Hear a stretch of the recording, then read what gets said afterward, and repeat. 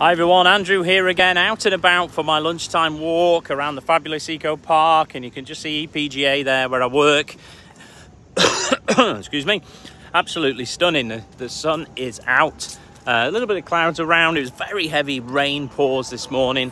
It seems to be every single day at the moment we're getting heavy tropical storms in the morning, uh, which is fine. That's uh, that's what it's like over here. It's fine. It's uh, coming through the summer, but it's very hot and humid. Um, I feel really sort of, it's hard to explain, but you sort of, you just feel damp. It sounds horrible, doesn't it? Um, but it's okay, you get used to it.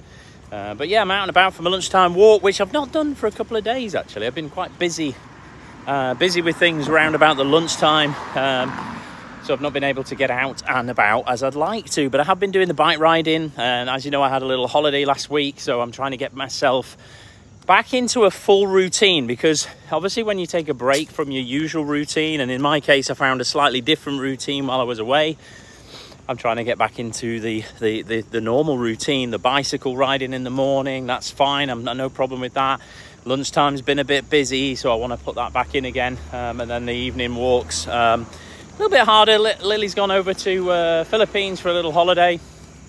Um, so I've, uh, I'm going to find something different to do in the evening. I might do some more biking. I really enjoy the bike riding.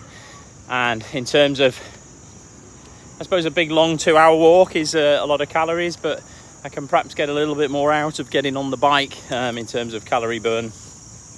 And if the weather's not so good, I can do it inside on the, the turbo trainer. So there we go. What are you doing at the moment to improve your tomorrows? You know the three mottos get up, get out, get it done. Do something today to improve your tomorrows, and what can be measured can be improved. So, what are you doing at the moment that's going to improve your tomorrows?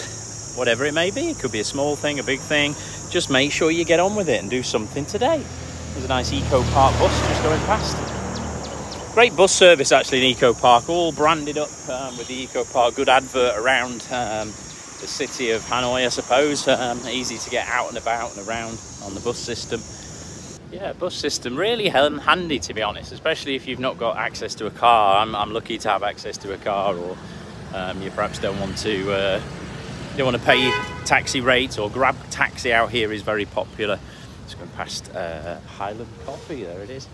Uh, yeah, so the bus service, um, although restricted in terms of its exact locations, you can get to everywhere you need to get to within Hanoi um, from, from here, which makes this Eco Park 20, 25 minutes from the centre of Hanoi very accessible uh, for people living in Hanoi coming out to do something a little bit more in the countryside and for people from Eco Park wanting to go into the city. Very, very handy for sure. Yeah, West Bay is a nice place. I'll just show you the towers here.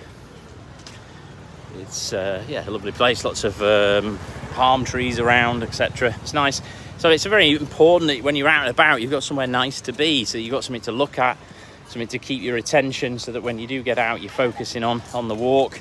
Um, obviously, I get distracted a little bit by doing these videos, but they're only short, maybe two, three minute videos. Um, but I'm going to get on with it now and finish my walk.